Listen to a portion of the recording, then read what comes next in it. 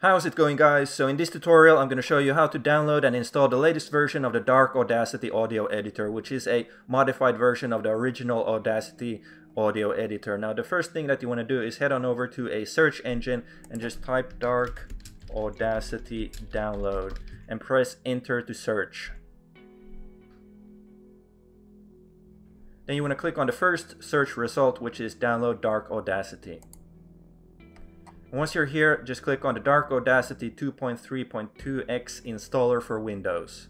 It may be something, depending on when you're searching for this, it, the version may have changed, but here's where you will find the latest version. And then what you want to do is click on Dark Audacity Windows installer. This is the actual download link. And then save the installer to your hard drive.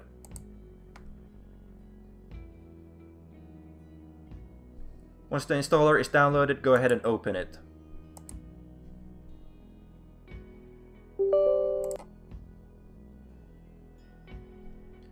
And once the installer is open, click on Next. And then click on Next again.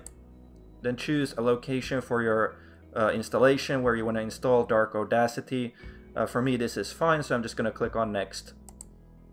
And here you can select if you want to have a, a desktop shortcut created, which I don't really need, so I'm just going to click on untick that and click on next.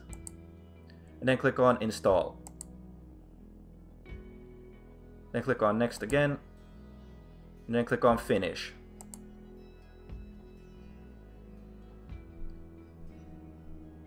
and I just want, don't want this to show up at every time I open the program so I'm just gonna tick this box here and then click on OK. And that's how you do it. That's how you download and install the latest version of Dark Audacity.